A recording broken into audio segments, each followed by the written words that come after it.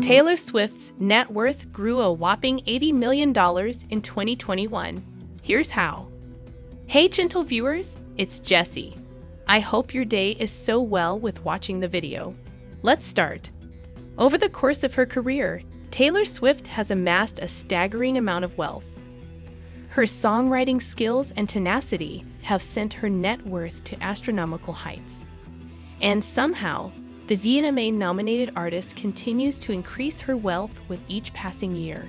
In fact, in 2021 alone, Swift raked in more money than most people could make if they lived multiple lifetimes. According to Celebrity Net Worth, Swift is worth an astounding $400 million.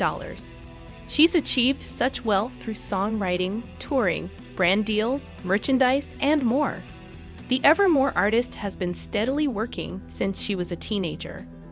Over time, she's become one of the most famous celebrities on the planet. And even in years when she wasn't overwhelmingly popular, her loyal followers still came out in droves to support her. Swift's annual salary is often more than most people will make in a lifetime. In a touring year, it's not uncommon for Swift to make $150 million. However, Swift managed to make more than half of that in 2021 when she wasn't on tour. But how did Swift manage to stack her cash so readily in a pandemic year? According to Rolling Stone, her two album re records, merchandise for said albums, and brand deals with Peloton and Starbucks helped boost her net worth. Thus far, Swift has re recorded and re released two of her prior albums. First out of the gate was Fearless, Taylor's version, which was released in April 2021. Next up was Red, Taylor's version, which was released in November of 2021. But why is Swift re recording her wildly successful albums? She's doing so in a bid to own her masters, which she explained while on Late Night with Seth Meyers. There was something that happened years ago where I made it very clear that I wanted to be able to buy my music, Swift shared. That opportunity was not given to me, and it was sold to somebody else. And so I just figured I was the one who made this music first. I can just make it again. So that's what we're doing.